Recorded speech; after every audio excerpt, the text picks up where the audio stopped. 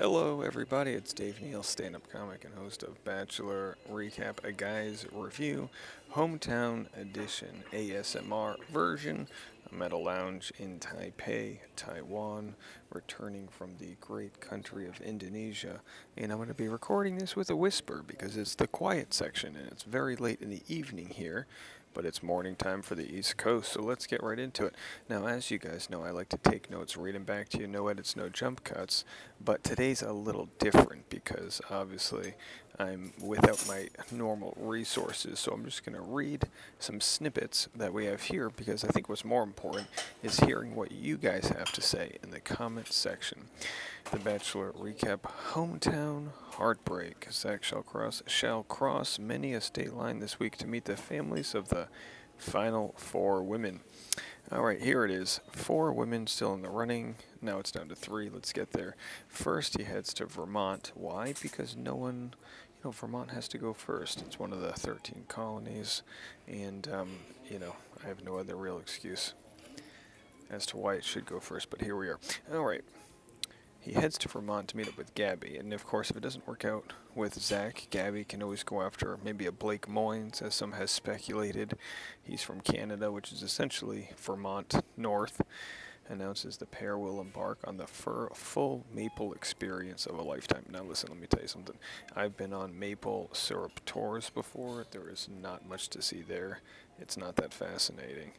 But here we are, nonetheless. By the way, the lounge is offering free beer, which is nice. Okay, with no tree sapping the fun out of their date, Gabby stages a blind maple syrup taste test for Zach to try a whole array of Vermont's best. There's a hidden catch. One of the condiments is fake maple syrup. Okay, so I know Reality Steve tweeted he doesn't know if he's been having fake maple syrup or not. Most maple syrup that you buy in the store is actually corn syrup. Uh, real maple syrup always comes in that kind of maple syrup colored, uh, you know, the standardized maple syrup, uh, you know, case. It's kind of like a same thing that like whiskey looks like when it comes in it. Okay. I don't even know if you guys can hear this, but this is as loud as I'm willing to go. You just shot me, Gabby shouts. This is fake. The bottom of the barrel. Worst syrup you can buy. She reveals the concoction was pancake syrup. Oh, like they said, high fructose corn syrup. Ew, threw up in my mouth. Nothing that a maple purist like Gabby could ever endorse. Oh, no, let me tell you something. I would for sure be able to tell the difference between fake maple syrup and real maple syrup. If anyone ever wants to challenge me, just bring some maple syrup to a stand-up show, and I will be the one to tell you the difference. Okay, so anyway, Vermont does what Vermont does, and then what's next here? It looks like, are they in New York City? Next, Zach is taking a bite out of the Big Apple. Yep, they're at Washington Square Park, which is a beautiful park where you can go buy drugs. That's where people go to buy their weed, at least back in the day. All right, they share a kiss, and that's also where they filmed I Am Legend. Uh, if you know that, they filmed that right here. No one cares. Okay. Um, when Zach tells her he's very nervous to meet uh, Ariel's family, she says he really only needs to worry about her brother Bobby, who's protective and previously offered to beat up my exes. Everyone's got that brother, right? As they sip on their cocktails, Zach tells her family's history.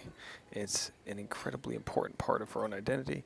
You don't know me without knowing my family and their experience as immigrants. Very true. Oh, also, here they are trying the pizza. Zach does the fold. She teaches him that. What is she wearing? Like a camouflage dress right there? The, the what she should have taught him to do is uh, go to the dollar pizza place. This is like nice New York pizza. You got to go to the dollar pizza place where you can put on the hot sauce for free and parmesan.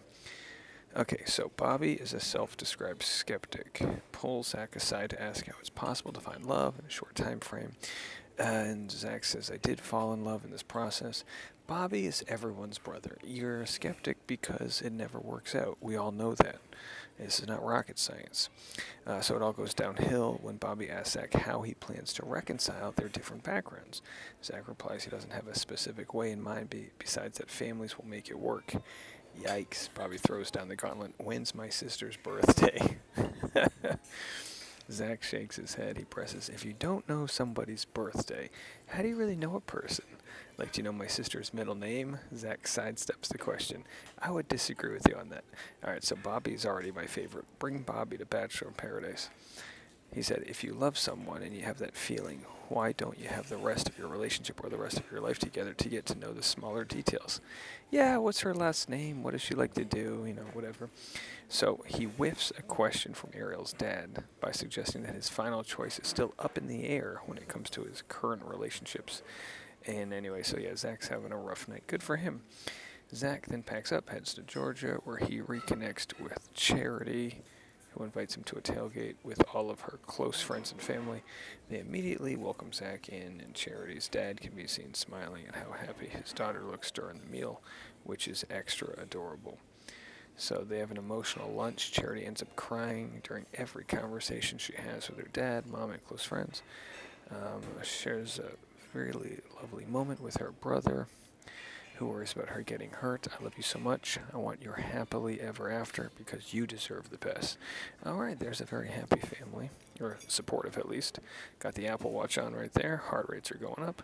After the meal, Charity and Zach spend the rest of the evening line dancing before she tells him that she's falling in love with him in an alley outside the bar.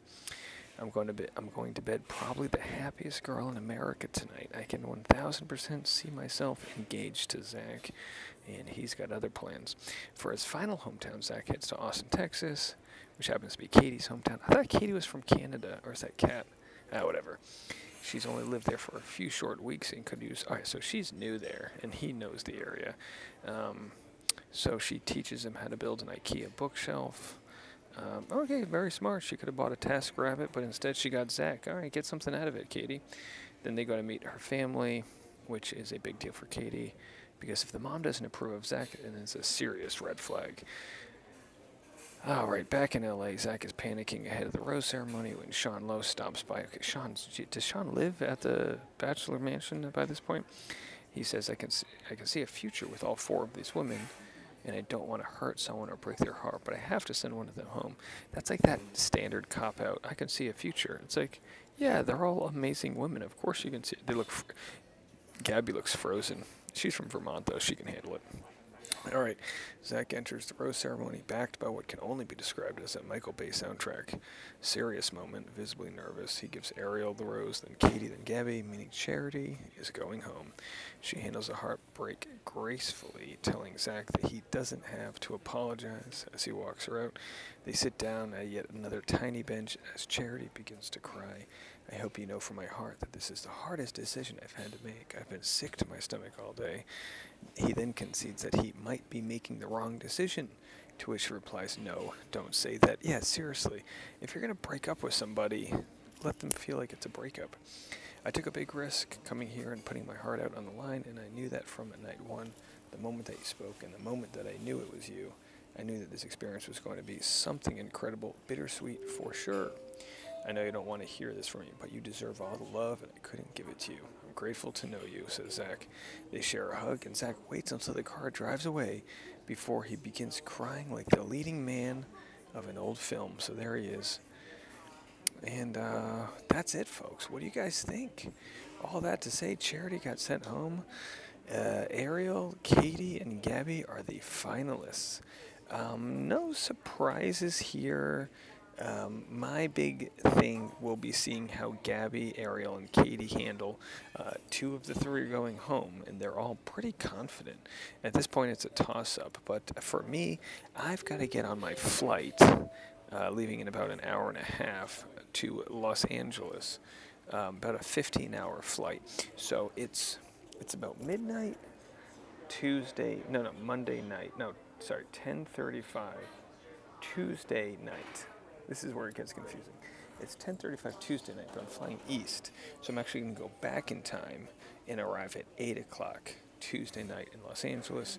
I'm going to check the Women Tell All, and then we'll have a recap back in the studio with all the proper microphones and uh, you know all that jazz. So you can go catch that there. Bachelor Rush Hour, the podcast will be up this afternoon. If you can catch Tuesdays, also check that out. And Mondays, tons of content for you.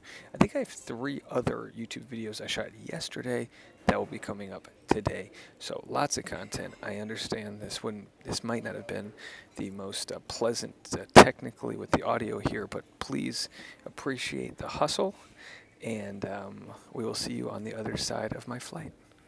Goodbye, everybody.